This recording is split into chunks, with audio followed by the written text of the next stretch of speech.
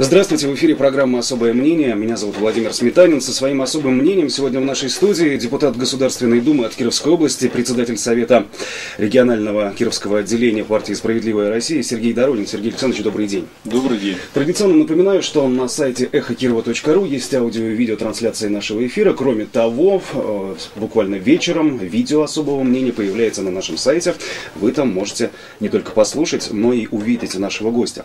Ну, хочу начать я с тем, темы капитального ремонта, вот по информации, озвученной накануне, в Кировской области фондом капитального ремонта жилья собрано всего лишь 42% Э, денег от суммы, начисленной за капремонт за три месяца, за декабрь, январь и февраль. И это говорит о том, что у населения Кировской области очень недоверчивое, мягко говоря, отношение к капитальному ремонту.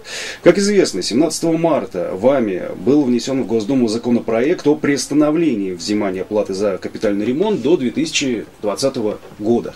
Вот хотелось бы узнать из первых уст, э, как рождалась эта идея, в чем суть законопроекта. Ну, на самом деле 17 марта был внесен э, поправки вот, э, в некоторые положения, в акты э, значит, в виде такого законопроекта. И э, в прошлом году, когда в областном законодательном собрании э, вот данная инициатива обсуждалась, э, я хотел бы повторить радиослушателям, что все оппозиционные партии, включая Справедливую Россию, ЛДПР, КПРФ выходили с инициативой э, начать э, применять данный законопроект, но э, стоимость взимания ну, начать хотя бы с полутора-двух рублей. И таким образом, вот, начиная с 2014 года, с декабря или с 2015 января месяца, не такую нагрузку финансовую положить на плечи людей, наших избирателей и отработать полтора, два, три, четыре года, посмотреть, как этот закон работает в действии. И таким образом, я думаю, что э, вот сегодняшний гнев, который вылился уже в, там, в какие-то акции определенные, да, э, собираются люди, вот я вам скажу, что в городе Кирово-Чепецке на сегодняшний день процент собираемости еще меньше, где-то порядка 15%. Ну, 42% в среднем, естественно. В среднем, да. И я думаю, что вот он начал э, работать, законопроект этот с такой, или уже закон с такой серьезной пробуксовки. Поэтому вот, родилась такая мысль о том, чтобы, или инициатива о том, чтобы приостановить действие данного закона Э, на территории не только Кировской области, а может быть всей Российской Федерации до 2020 года. Почему именно до 2020? Э, вы знаете, как раз э, в этом году в очень серьезный экономический кризис Россия вступила, не секрет, да, у нас сразу же наложилось несколько таких ну, достаточно неприятных моментов для населения. Это и рост стоимости лекарств, это и рост стоимости продуктов питания. И вот как раз э, реализация во многих регионах вот этого закона о капремонте и одновременно в одной точке все эти проблемы, они сошлись, и поэтому вот такое недовольство у населения. И я считаю, что вполне себе можно э, сегодня освободить э, большую часть населения, которое живет достаточно, ну, так скажем, бедно, Российской Федерации от э, выплат за капремонт. А что будет, собственно, с теми деньгами, которые люди уже внесли? Их тоже заморозить на каких-то счетах? А, вот по отношению к этим деньгам, значит, э, их э, либо вернуть обратно населению, либо зачесть в счет коммунальных платежей. Такое предложение было в пояснительной записке. Ну, еще раз повторюсь, э, особых иллюзий по поводу данного законопроекта я не питаю. И сегодня в Государственной Думе, проведя консультации со специалистами, я думаю, что с большой долей вероятности по формальным причинам э, могут отклонить этот законопроект. Я предполагаю, что ни партия власти, ни исполнительная власть э, сегодня не допустит даже на обсуждение Государственной Думы данный законопроект, а он может э, ну, остаться в, значит, в аппарате Государственной Думы, либо на уровне комитета э, просто застрять.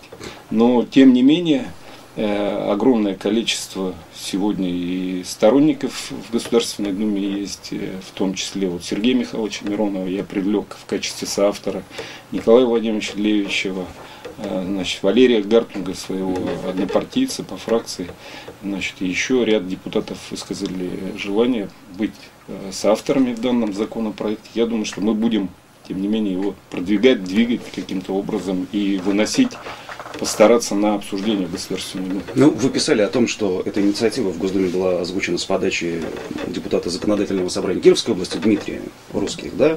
И, собственно, сейчас, как известно, Дмитрий Михайлович будет на уровне нашего регионального парламента тоже готовить э, аналогичную инициативу. Вот это может придать какой-то силы, мы если она дойдет да, до мы договорились об определенном взаимодействии, и, опять же, проконсультировавшись, и в Государственной Думе приняли решение о том, что значит, мы попробуем инициативу такую э, принять на законодательном собрании, обратиться либо к министру, который курирует э, вот, систему ЖКХ, mm-hmm. это МЕНЬ, и также к спикеру Государственной Думы Нарышкину с обращением.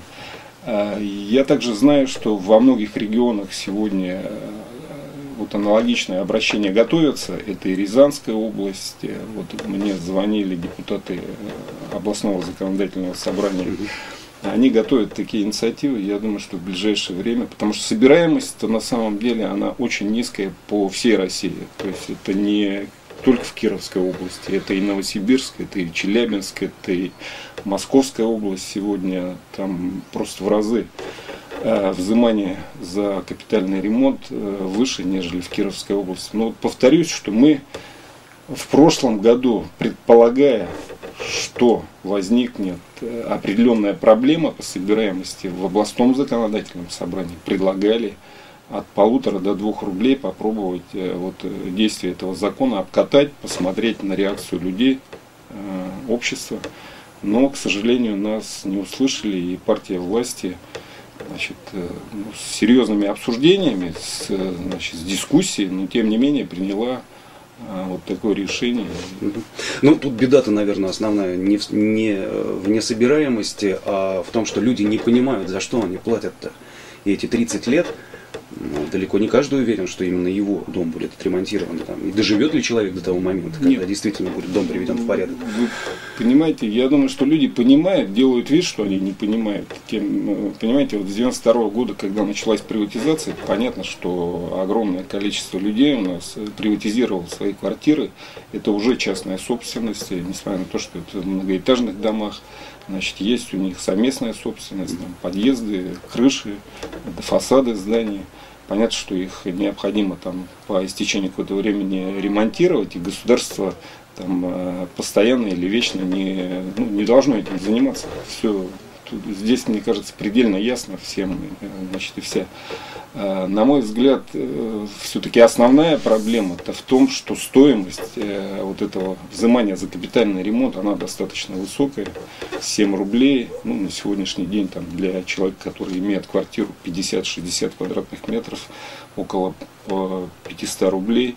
Это, конечно, серьезные деньги. Опять же, повторюсь, что наложилась сегодня экономическая ситуация, это и снижение во многих случаях доходов населения, да, а также рост затрат на те же продукты питания, медицину. Там, э, к лету, я думаю, что система э, ЖКХ и коммунальные службы, и энергетика значит, поднимет голову и начнут увеличивать стоимость. Вот здесь вот эти пересечения в одной точке всех проблем, вот создала такую проблему. Хотел бы я сейчас перейти к поправкам в бюджет Российской Федерации на 2015 год и последующий плановый период. Поправки подготовило правительство.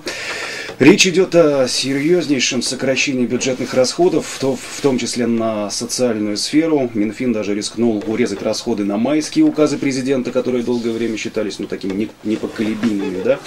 В чем суть этих поправок? Изучали ли вы их? И, собственно, позиция ваша и позиция справедливой России по поводу этих поправок? Внесенные поправки в бюджет, в расходную часть, доходную часть бюджета 2015 года, конечно, я с ними ознакомился, но более подробно, наверное, ознакомился с поправками, которые были внесены э, в бюджет по сельскому хозяйству.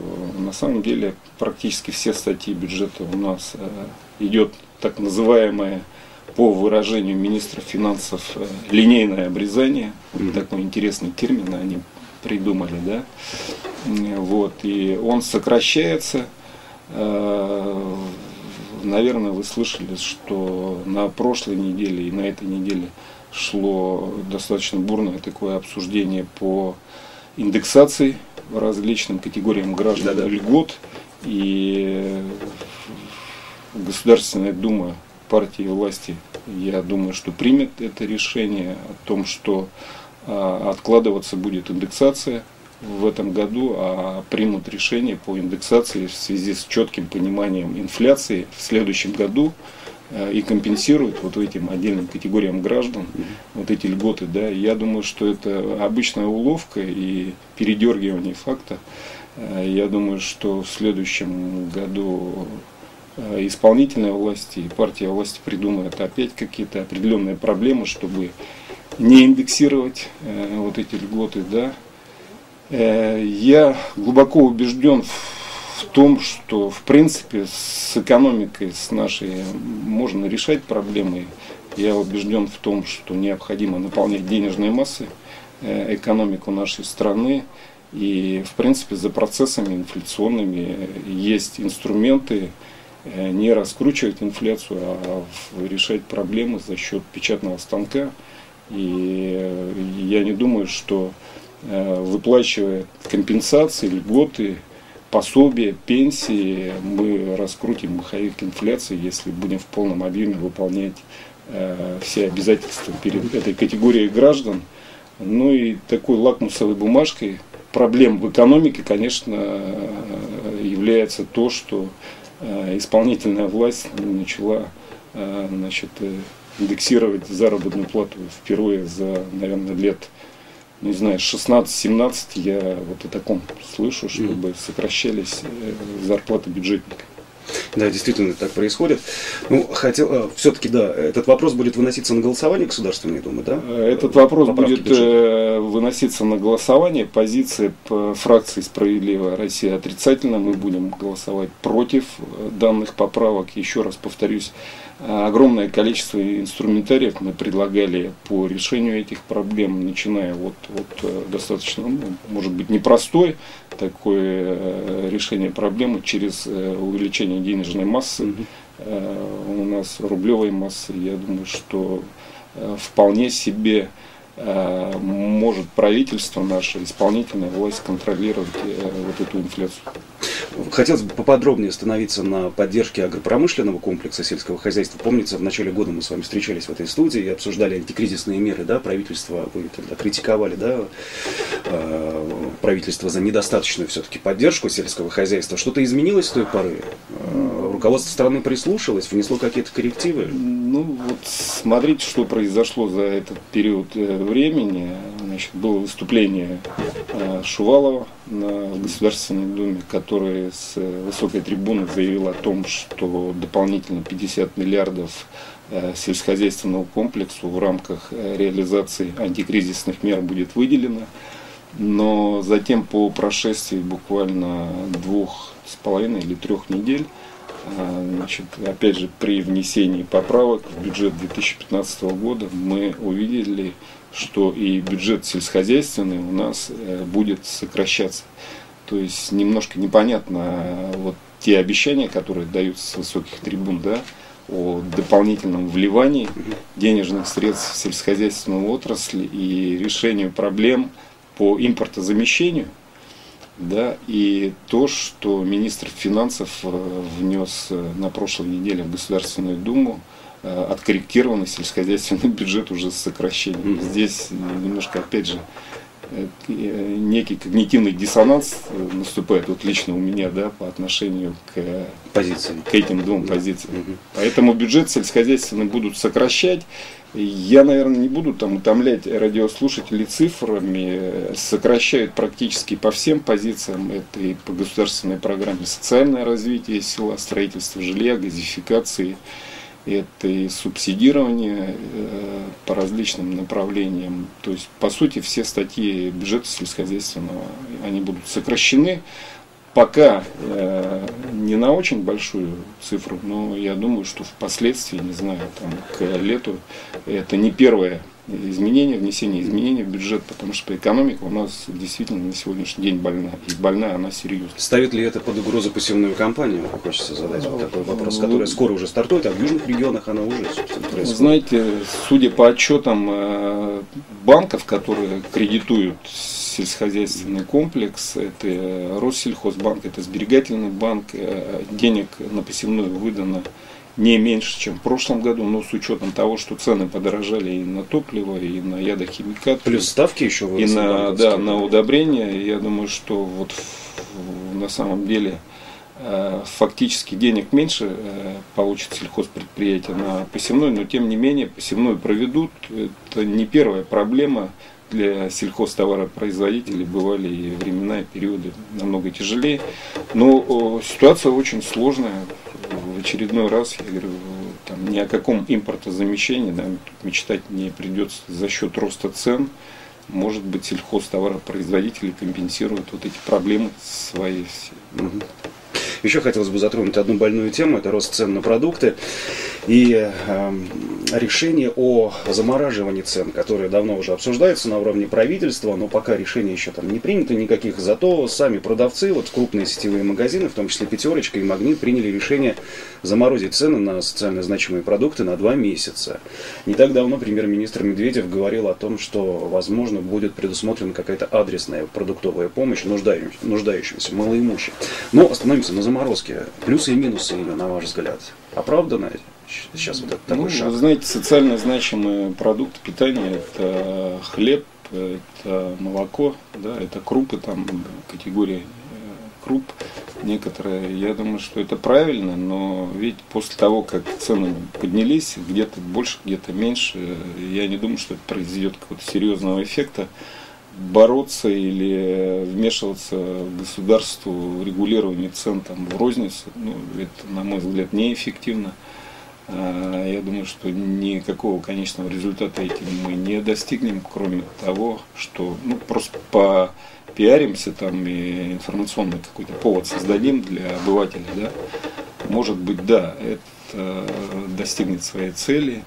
Есть, опять же, огромное количество инструментариев, которые могло бы позволить потребителю Э, нормально потреблять и покупать э, и увеличивать спрос на продукты питания. Вот в своих докладах и выступлениях я неоднократно приводил пример э, Соединенных Штатов Америки, где вот как и в Кировской области, сегодня Покупай Вятская, губернатор достаточно интересный проект реализует, да, там на протяжении уже многих десятилетий продуктовые карточки выдаются людям с низким достатком доходов. И э, такая помощь, э, которая через вот продуктовые карточки, они приобретают э, продукцию местных сельхозтоваропроизводителей, выдается на сумму населению 60 миллиардов долларов это по сути в десятки это раз в больше в год. Это по сути в десятки раз э, больше, нежели вся поддержка сельскохозяйственного комплекса в Российской Федерации. 60 миллиардов э, долларов э, объем э, продуктовых э, финансовых карточек от населения, которые приобретают в сетевых магазинах продукты питания, сельскохозяйственные, овощи, фрукты, Э, мясную продукцию, крупы различные, значит, хлеб. Ну вот мне сейчас вспомнилась цифра, которая существует у нас в Кировской области. У нас есть проект продуктовая карта, да, рассчитанная на многодетных семей. Там каждый месяц, если семья приобретает местные продукты, и тысяча рублей перечисляется. И вот с, с октября 2014 года, ой, простите, 2013 действует этот проект. Два с половиной миллиона рублей областное правительство у нас потратило. Как оцениваете эти цифры и этот проект? Ну, вы знаете, в рамках тех возможностей, которые у нас существуют у бюджета, у регионального, да, это отдельная совершенно тема, там диспропорции э, бюджетных взаимоотношений, когда э, муниципалитетам на местах, э, по сути, остаются крохи от тех налогов, которые они собирают у себя на местах, да, и также остаются совершенно там крохи региональным бюджетом, а федерал забирает практически там э, весь налог на прибыль, НДС э, у нас и так далее и тому подобное. Значит, э, конечно, 2 миллиона, ну, с одной стороны, это вроде бы какая-то помощь, да, ну а с другой стороны, конечно, это очень маленькие деньги, на мой взгляд, и наверное, не обеспечит тех потребностей, которые есть у тех же многодетных семей. Ну, мы сейчас заговорили да, о проблемах муниципалитетах, муниципалитетов, хотелось бы расширить эту тему. Ну, действительно, постоянно идут сигналы о том, что у местной власти нет денег да, на там, самые, самые первоочередные вещи, на уборку улиц, на уборку крыш и так далее и тому подобное. Сколько это может продолжаться? Менять законодательство? Кричат. Понимаете, надо люди. менять бюджетный кодекс. Mm. Вот я, опять же, глубоко достаточно изучал эту проблему по отношению к своему родному городу, городу Кирово-Чепецку. Mm. Значит, у нас на сегодняшний день э, город Кирово-Чепецкий, Кирово-Чепецкий район э, у всех субъектов налогообложения собирает порядка 4 Э, миллиардов 800 миллионов. Это налоговых поступлений, плюс неналоговые платежи, я думаю, что где-то около 600 миллионов. То есть под 5,5 миллиардов собирается э, различных э, платежей значит, субъектов налогообложения. Да? А в городе Кирово-Чепецке остается у нас порядка миллиарда 200 миллионов. А в Кирово-Чепецком районе остается около 500 миллионов, то есть итого с 5 миллиардов 500 миллионов собираемых э, денег на этой территории остается примерно миллиард семьсот. Вот и смотрите, какой диспаритет у нас идет взаимоотношений между э, органами региональной власти, а федеральной власти по отношению к региональным и э, местным органам самоуправления. Поэтому мы можем сколько угодно говорить о проблемах э, беспризорных э, значит, э, кошек, собак, лед, глыбы, неубранные улицы, значит, асфальтирование, озеленение и так далее и тому подобное. Без денег эти проблемы, конечно же, не решить. И вот здесь диспаритет этот необходимо конечно же, менять и эту проблему решать. Вопрос, вопрос уже ставился? В Государственной Думе вопрос в Государственной Думе ставится и оппозиционными партиями, но, к огромному сожалению, вот э, стена непонимания и того, что исполнительные власти так проще и легче и управлять регионами, и получать необходимые результаты, в том числе и в выборных кампаниях, он, конечно же, для меня вот понятен, да. Но если говорить о другой стороне этой медали, то, естественно, э, стимул э, что-то созидать на местах, конечно же, у исполнительной власти и у законодательной власти пропадает. Если эта ситуация будет продолжаться, во что это все может вылиться? Все только ну, усугубляться будет? Это будет усугублять ситуацию на периферии, в, в слабых регионах, э, значит, достаточно слабых, где нет и не развита промышленность. Э, я думаю, что вот эти регионы будут постепенно вымирать будет серьезная миграция населения и концентрация вокруг крупных городов-миллионников, где более-менее ситуация финансовая а, более-менее благоприятная, опять же, по отношению к тем региональным городам. Да? Я не говорю сейчас, что по отношению там, к мировой какой-то значит, э, экономике, да? но тем не менее по отношению к вот этим периферийным городам, конечно, в городах-миллионниках, вот сегодня работая депутатом Государственной Думы, я вижу, что а, улицы Москвы и озеленяются, и идет асфальтирование, и асфальт ежедневно моют уже вот на протяжении недель трех, э, после того, как сошел снег, с определенными чистящими средствами. Москва просто великолепно себя чувствует, и идет строительство, идет строительный бум, развязки, пешеходные дорожки, значит, стоянки, платные, бесплатные, все это строится, фасады зданий ремонтируются, конечно, это отдельное государство в государстве. Я предлагаю сейчас прерваться на небольшую рекламу, пара, пара минут и продолжится особое мнение Сергея Доронина, депутата Государственной Думы от Кировской области. Продолжается особое мнение. Сегодня это особое мнение Сергея Доронина, депутата Государственной Думы от Кировской области, председателя Совета Кировского рекотделения партии «Справедливая Россия». Следующий вопрос, который я хотел бы затронуть, это трагедии этой зимой, произошедшие в связи с падением с крыш снега и льда на голову людей, в том числе детей. Как известно, в феврале от падения льда скончался месячный ребенок. И вот в начале марта трагедия произошла в Слободском, там погибла шестилетняя девочка. Ну, уже, наверное, Кроме слов соболезнования, собственно, да, родителям, родственникам этих детей уже, собственно, ничего не скажешь. Задача сейчас основная заключается в том, наверное, как не допустить этих трагедий в дальнейшем, да, чтобы они не повторялись. У вас есть позиция по этому поводу? Ну, у меня совершенно четкая позиция в отношении вот того, что случилось. Это ведь не первый случай и в городе Кирове, и в городах э, Кировской области. Э, вот проблема значит, обледенения крыш, карнизов. Э, и я буквально там, неделю назад вот как раз в своем блоге написал о том, что во всем цивилизованном мире, в европейских странах, которые имеют такие же климатические условия, как Российская Федерация, вот Кировская область, это Швеция, Финляндия, это Норвегия, это та же Австрия.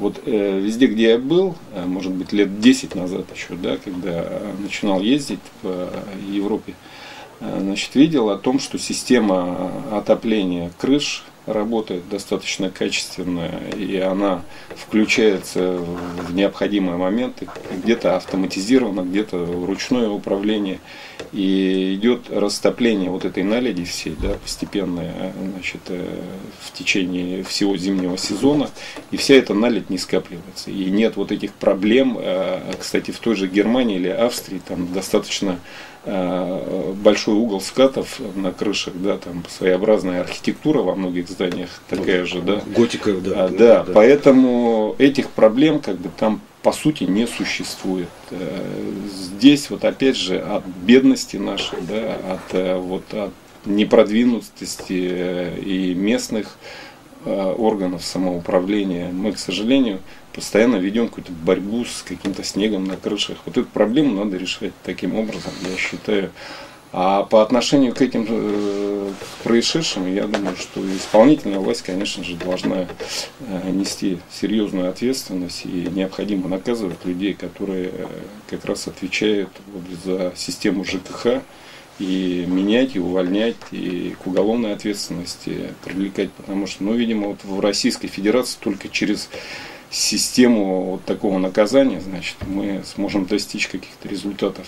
Конечно, это печально, безобразно, какой-то, ну, не знаю, средневековье просто. А считаете ли вы, что первые лица должны Я считаю, нести за это ответственность?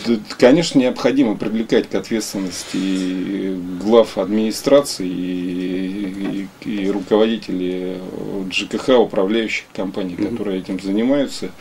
И в конечном итоге необходимо все-таки сесть, может быть, управляющим компаниям сметы эти посчитать, да. Опять же, ведь не глупые люди там в той же Европе этим занимаются. И наверняка все это рассчитывается. И ведь э, сегодня мы вручную очищаем э, крыши. Да, это ведь тоже определенные затраты финансовые, да. Ну, еще раз повторюсь, вот эта система, она работает уже десятилетиями в, в этих в северных странах и, и решает проблемы таким образом. Сколько она стоит, интересно? Насколько а, Вы знаете, я зашел на сайт э, одной из компаний, вот достаточно э, демократичные цены. Э, я думаю, что вполне себе могут позволить и жители дома, у которого есть проблемы или там скатная mm-hmm. крыша, да, э, вот такую систему, если опять же у нас бы эффективно расходовались все деньги, которые собираются с населения. У нас ведь проблема в том, что население не доверяет сегодня многим и управляющим компаниям по причине того, что очень высокая коррупциогенность у нас в Российской Федерации, и поэтому люди читают, знают об этом, и поэтому вот сегодня недоверие к власти. Вот эту проблему необходимо каким-то образом нам всем. Ну, если появление таких крыш в нашем городе, в нашей стране, и это и перспектива, то что-то мне подсказывает, что очень отдаленная перспектива, может быть, еще э, не, собственно, исчерпан тот ресурс, когда нужно муштровать, что называется, управляющие компании, чтобы они добросовестно выполняли свои обязанности? Ну, Закручивать вот, гайки? Вот, вот нет, ну, вот что значит добросовестно выполнять свои обязанности? Mm-hmm. Вот э, в их обязанности входит там, чистка крыш, да, я еще раз говорю, э, если установка такой системы отопления карнизов, э, сточных вот этих труб, да, а, она имеет место быть в Европе, на Западе, да, то люди наверняка уже э, давным-давно просчитали эффективность вот такой системы, когда за тебя обогреватель э, решает проблемы вот человеческого фактора, там, того же чистильщика крыши или там, человеческих жизней. Да, и система эта достаточно и недорогостоящая, и затраты на ее содержание или там работу, они, ну, по сути, свои копеечные. Да? Угу. Поэтому здесь вопрос в эффективности, еще раз говорю, работы тех же управляющих компаний, если они считают свои деньги, и еще раз говорю, а если на весы там э, ставить человеческие жизни, да, и установки таких систем, то я считаю, что тут однозначно 100% населения скажет, что установка таких систем. Хотелось бы еще немножко о городских новостях поговорить. Вот накануне стало известно о том, что в Кирове будет таки еще один торгово-развлекательный центр. Администрация города рассмотрела конкурсное предложение БСП Инвест Плюс для заключения инвестиционного соглашения в целях строительства универсального рынка с торгово-развлекательным центром на месте, там, где сейчас располагается центральный рынок. Вот такая новость. Как ее воспринимаете? Э, вы знаете, я свою позицию тоже по отношению к торгово-развлекательным центрам э, и вообще к торговым площадям э, давно сформулировал для себя и неоднократно ее и публично высказывал. Я за то, чтобы, опять же, делая отсылку на практику цивилизованных, развитых стран, европейских, мировых каких-то держав, да, выносить все торгово-развлекательные центры за пределы города. А ведь контингент, который посещает вот эти торговые центры, кинотеатры, достаточно обеспеченный, да, и в основном на собственном автотранспорте подъезжает к этим развлекательным центрам. Ничего кроме проблем технических, там, автомобильных пробок, да, э, заторов на дороге, там, э, мусора того же, они не для города как бы, создает вот одни проблемы эти центры. Необходимо выносить за город, э, значит, в городе, я считаю, необходимо больше приветствовать и стимулировать сферы обслуживания, Э, населения услуг, это рестораны, кафе, это пешеходные улицы, это может быть в центре города застройка малоэтажным жильем, да, опять же высотные здания, э, тоже где-то строить начинать на окраинах. Я думаю, что ничего кроме проблем, такие торгово-развлекательные центры, они для города в будущем, э, когда идет такая серьезная концентрация, опять же, с районов области у нас, с, с малых городов в Киров приезжают люди, я считаю, они не создают. Как экономический кризис отразится на этой сфере, на ваш взгляд, на сфере торговли? Я думаю, что экономический... Спрос падает? Я думаю, что экономический говорит, да. кризис, он а, отражается уже сегодня а, достаточно серьезно и на потреблении.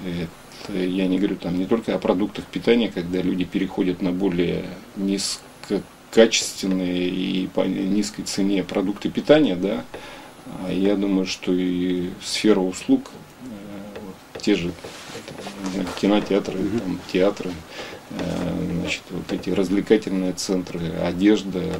Э, ну, чего говорить, у нас на 38% потребления автомобиля, это один из таких индикаторов экономики, э, упал. Я думаю, что мы в начале пути вот этого серьезного экономического кризиса. И вот первый звонок – это сокращение федерального бюджета у нас, это сокращение заработных плат э, бюджетников, это не индексация э, различным категориям граждан, э, значит, их льгот, пенсий и так далее и тому подобное. Это вот первые звонки в предвестнике такой серьезной экономической ситуации, сложной, я думаю, что и с 15 год, и 16 будут достаточно серьезными проблемами для всей экономики. Кстати, сокращение зарплат депутатов Госдумы, оно уже произошло? Да. То, о чем говорил Нарышкин еще в конце да, февраля. Да. Э, сокращение на 10%, да? На 10% и затраты на аппарат, и значит, сокращение заработных плат. оно произошло. Да? Ну вот я знаю позицию ЛДПР, да, по этому поводу. Они говорили о том, что на 30, на 35 даже готовы сократить зарплату. Я имею в виду депутатов Госдумы. У «Справедливой России», по-моему, тоже подобное было предложение, чуть увеличить это сокращение, или я ошибаюсь? Я думаю, что мы в начале пути, вот повторюсь еще раз, э, я думаю, что бюджет, э, наш федеральный бюджет, я думаю, и региональные бюджеты, и муниципальные в этом году будут пересматриваться в сторону сокращения еще неоднократно. Потому что вот по первому кварталу э, есть сигнал достаточно серьезный по поступлениям налоговым, что идет обвал Поэтому я думаю, что мы придем к тому, что и на, еще на 10, и на 20, и на 30 процентов mm-hmm. будем сокращать. Но, повторюсь, это не панацея. Еще раз говорю, экономику необходимо строить не вот с этой точки зрения, сокращения, выжимания. Я все-таки считаю, что необходимо э, увеличивать денежную массу в Российской Федерации – необходимо снижать процентную ставку по кредитам, стимулируя э, инвестиционные, э, инвестиционные возможности компании и агропромышленного комплекса, и промышленности перерабатывающей, нефтеперерабатывающей промышленности. И необходимо выполнять обязательства перед пенсионерами, значит, Э, льготниками и так далее и тому подобное, вкачивать через эту категорию граждан э, деньги и через бюджеты, и опять же ввести монетарную политику через э, банки, но со снижением процентной ставки. Если бы у нас была процентная ставка там 3-4% годовых, я думаю, что экономика наша, которая на сегодняшний день Э, производственная площадь, э, производственные значит, э, компании на 64% вот по некоторым данным экономическим сегодня используют свой потенциал производственный. То есть есть куда экономике расти, есть где заниматься импортозамещением. Я думаю, что вот эти инструменты, они известны всем и экономистам, и исполнительной власти. У меня возникают огромные вопросы, почему мы этими инструментами не пользуемся, а идем по пути сокращения э, затрат. У нас остается буквально минута две. Я хотел бы еще об одном упомянуть событии, событие конца февраля. Вы были в составе пяти депутатов да, от «Справедливой России», э, которые вышли с такой инициативой, как э, запретить президенту Российской Федерации вводить экономические санкции в обход Государственной Думы так все было, да? А после этого э, руководство, собственно, «Справедливой России» ну, высказало свое неодобрение этим поступкам. Что это было? И, собственно, последствия этого?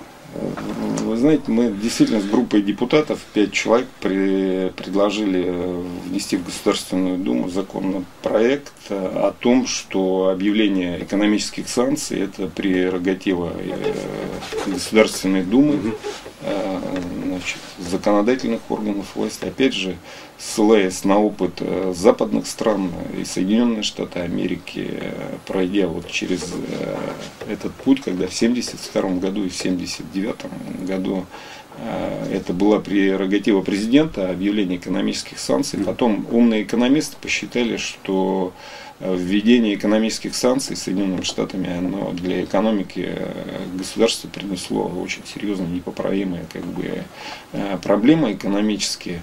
Вот. У нас ведь сегодня что происходит? Вот Совет по безопасности, он принимает решения и рекомендует президенту принять э, те или иные экономические mm-hmm. санкции своим указом. Да.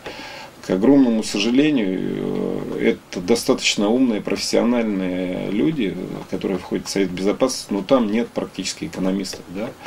Поэтому мы предлагаем э, после э, вынесения рекомендаций Совета Безопасности президенту, президент выходит э, с инициативой перед Государственной Думой и с привлечением различных экономистов, специалистов, значит, комитетов, принимать все-таки решения коллегиально, по, коллегиально да, по введению тех или иных экономических санкций. Я считаю, что те санкции, которые мы ввели сегодня продуктовые, они недостаточно эффективны. Я думаю, что если бы мы ввели эти санкции и параллельно дали возможность нашей промышленности, опять же, получать дешевые кредиты и параллельно вкачали бы деньги э, в экономику, да, а мы, наверное, бы вопрос импортозамещения э, каким-то образом через определенный промежуток времени решили, да.